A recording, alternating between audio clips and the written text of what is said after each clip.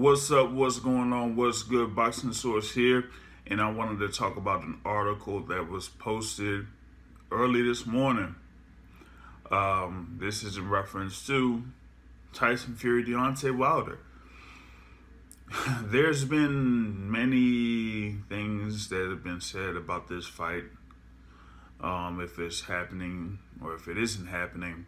And I did kind of like have a take on it um, a couple days ago. Um, I said that I didn't feel like it was going to happen this year, not because of, you know, either party, but because the financial circumstances surrounding the event itself is too much to have it at this particular time or within the next two months, whether it would have been December uh, 5th, 12th, 19th, whatever. It's going to be a joint pay per view with Fox and with ESPN being involved. And I don't think that they had the resources in order to make it happen by December. But it seems like there was more to this, supposedly. Uh, there has been an article posted on The Athletic that uh, came down early this morning. And it says heavyweight champion Tyson Fury is foregoing the trilogy fight with Deontay Wilder that's what Tyson Fury told Mike Coppinger after organizers failed to deliver a date for the event in 2020. I was looking forward to smashing Wilder again, a quick and easy fight. Fury said, but Wilder and his team were messing around with the date. they don't really want to fight the lineal heavyweight champion. They know how it ends. The world knows how it will end. With Wilder on his ass again. I'm Tyson Fury, that's Gypsy King. Right? Um, and it goes on. Uh, it says like you know, they said that uh, the fight was supposed to happen in July, but Wilder, 34 years of age, claimed an injury and pushed the date to October before trying to put push the date twice more. And then it goes on and continues. Then he asked me if I would agree to push it to December. I agreed to December 19th, Fury said. Then they tried to change the date again into next year. I've been training. I'm ready. When they tried moving off December 19th and pushing to next year, enough was enough. I've moved on. Right? Um, and I mean, the, uh, you know, this article continues and uh, it says that uh, Fury will now look to return December 5th in a UK homecoming bout after three consecutive fights in the US, according to sources.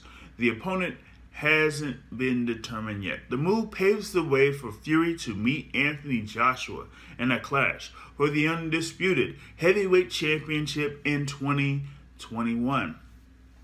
Well, oh, there's a good, good amount of things to dissect from this. Um, you know, of course, we've had the news of, you know, what happened in Wilder's camp. Um, we've had the stories that have come out in reference to a supposed injury by Deontay Wilder, or suffered by Deontay Wilder in reference to uh, bicep injury.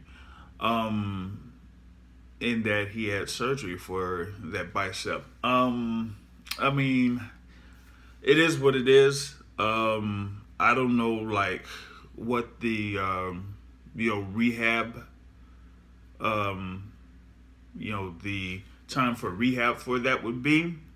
Uh, he's had issues with uh, his bicep before.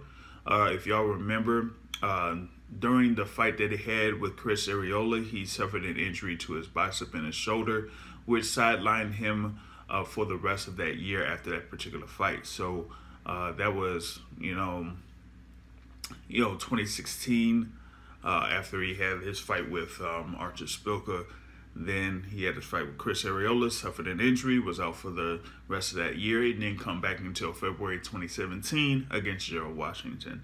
Um, so if he if he had an injury uh, in this fight with Tyson Fury, then most likely uh, he would have been sidelined for the rest of the year anyway. But he's been out and about. Supposedly, he's you know posted um, you know videos about you know him you know out doing um what's it deep sea diving or whatever it is uh, of course we know about the uh, twerking video But either way, um, we haven't really heard directly from Deontay Wilder in reference to this particular fight. We've heard from you know multiple other parties, but not directly from Deontay Wilder. Um, other than that, you know, comments that were in that PBC podcast uh, a couple months ago. But in reference to this, um, in particular, if this is the case that um, Tyson Fury is moving on, and that Deontay Wilder um, is, you know, being, you know, taken off due to a uh, contract stipulation of, of sorts, and that the uh, rematch clause had a certain date that it had to happen, and if it's not happening, then the contract is null and void. Then okay, Tyson Fury can move on. Um, he could, like he said, uh, have his fight on December 5th in the UK, which means that that opponent pretty much has to get ready now because um, camp usually is an eight week camp, and here we are about seven or eight weeks till December 5th, right? Okay. So then after that, uh, he could probably have one more fight before, you know, the uh, undisputed heavyweight championship fight with Anthony Joshua if that does come down by next summer. You do have um, you would have had the WBC mandatory due, but of course, Dillian Whyte lost Alexander Povetkin, and you have that rematch that's coming up uh, in November. So, with that being said, it is going to be interesting to see uh, who Tyson Fury fights after uh, this planned December 5th fight in the UK.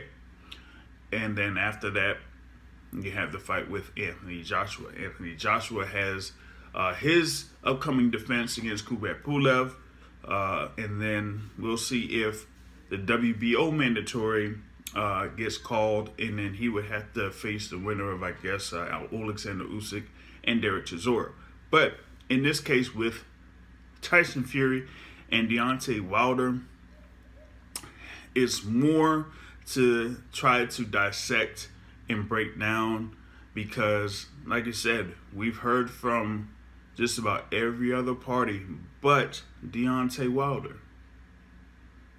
And that is, I think, really telling because Deontay Wilder is a very confident person, is a very outgoing person.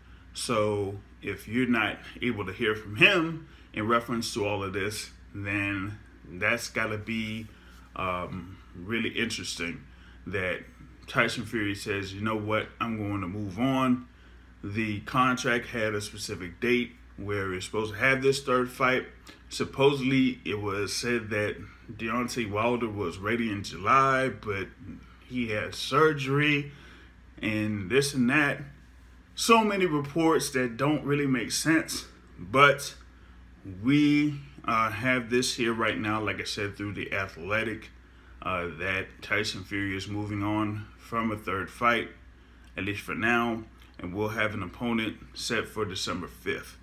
Um, kind of interesting uh, addition to this uh, through Lance Pugmire of The Athletic. He says, watching the December Fury fight vanish lightens Wilder's wallet, but the former long reigning champion has increased strength training and can complement that with a devotion to road work. By taking on a Fury-like foe in six foot seven Robert Helenius and then a pressure puncher like a fit Andy Ruiz Jr., Wilder can rebuild himself into someone suited to face Fury or Joshua. Pretty interesting comment from Lance Pugmire and kind of like, you know, goes into what uh, Tyson Fury did before the second fight um, but I do think Wilder should do the same thing in order to develop a uh, better approach against Tyson Fury. Uh, but it remains to be seen if he's going to do that against someone the likes of a Robert Helenius or an Andy Ruiz Jr. or Charles Martin or somebody like that. Okay, that's what I got in reference to this particular topic. You subscribe to the Boxing Source here on YouTube and catch the Boxing Source radio show live Sunday, 7.30 on Blog Talk Radio. It's on iTunes, it's on iHeartRadio, it's on Spotify, it's on Google Podcasts, whatever you use for your podcast app. The Boxing Source is on there. Until next time, I'm out. Peace.